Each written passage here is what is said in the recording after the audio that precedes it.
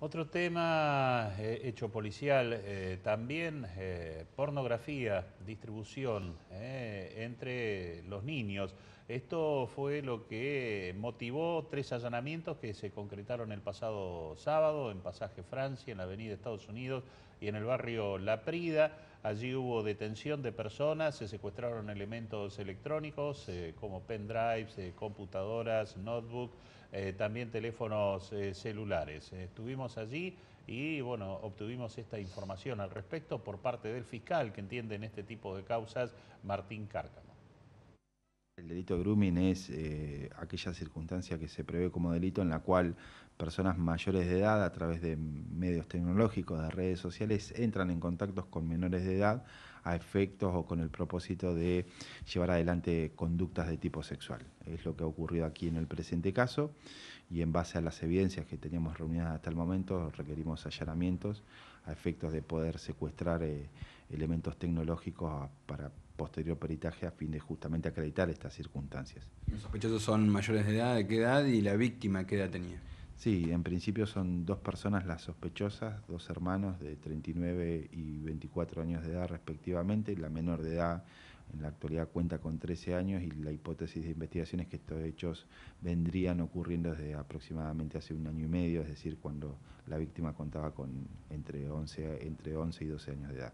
¿Qué hacían estos hombres? Eh, ¿Le amenazaban? ¿Qué tipo de contenido le pedían a través del celular? Sí, concretamente mucha cantidad de diálogos de contenido sexual, de eh, sexo explícito, que le pedían que esta menor practicara y también el requerimiento de imágenes de contenido pornográfico respecto de la víctima.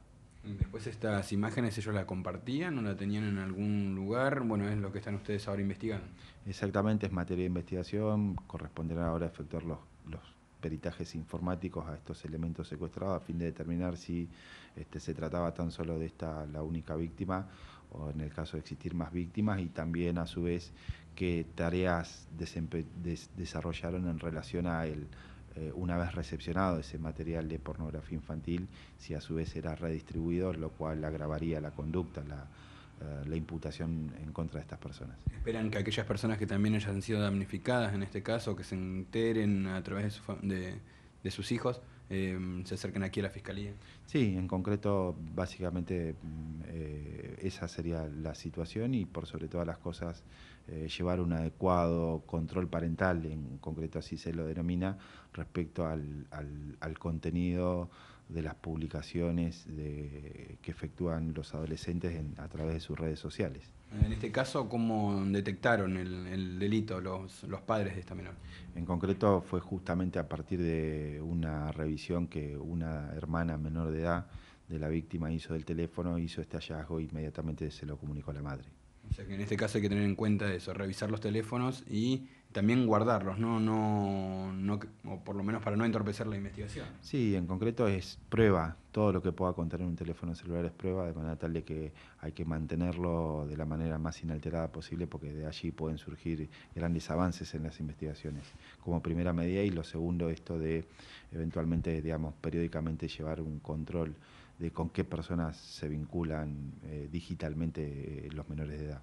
¿Las penas eh, previstas en el código de, de, qué año hasta qué año? Específicamente para el delito de grooming es de seis meses a cuatro años de prisión y eventualmente, digamos, concurren, concurre este delito con la comisión de, de delitos en general de mayor gravedad que aumentan la cantidad de pena.